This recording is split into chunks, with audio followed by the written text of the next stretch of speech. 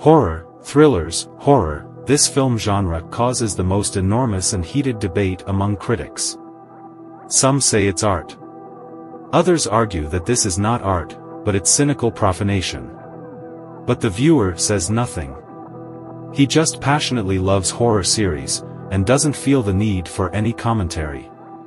And is it worth delving into art criticism debates, when the goal of such television works is one, to make every person on this side of the screen tremble with fear?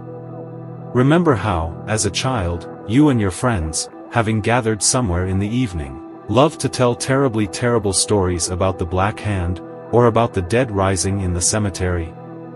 It is from here, from deep childhood, that a person's desire to experience fear of something mysterious, unknown, perhaps even otherworldly, takes its roots. And that is why the best series in the horror genre always enjoy great popularity among viewers, no matter what nightmares or abominations they show. And they really show a lot. As a rule, the directors of such projects do not skimp on blood and murder. There are several traditional plot threads on the basis of which most of these terrible television projects are filmed. The first is psychopathic maniacs. The story, in general terms, boils down to the fact that somewhere there lives a certain guy who is obsessed with murder, and the main characters are unlucky enough to end up on his list of future victims. A desperate pursuit begins, as a result of which only one survives among the entire initial crowd of characters, and this is in the best case. The second is the living dead. The undead crawl out onto the sinful earth to sow death among those who are still alive. Such works are distinguished by an abundance of shed blood, vivid scenes of violence and weak plot construction. The third is otherworldly creatures.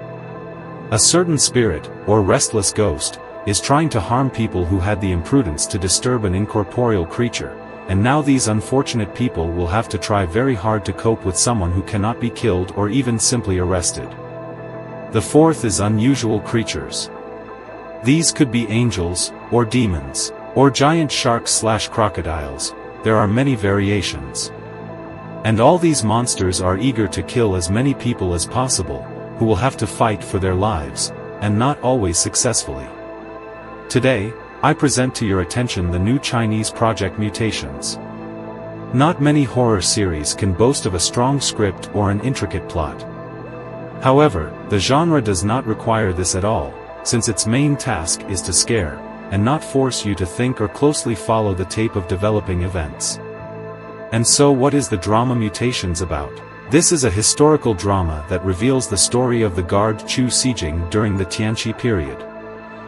The plot revolves around the spread of a mysterious disease, causing fear and despair among the people beyond the Liaodong Pass.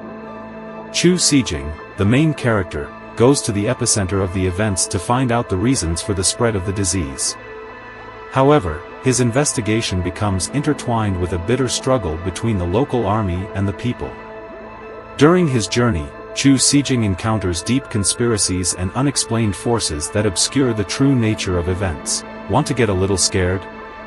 Give yourself the pleasure of once again plunging into the sweet atmosphere of frightening stories, only this time they will be told to you not by a street friend, but by a Chinese horror drama. Enjoy or not, enjoy watching.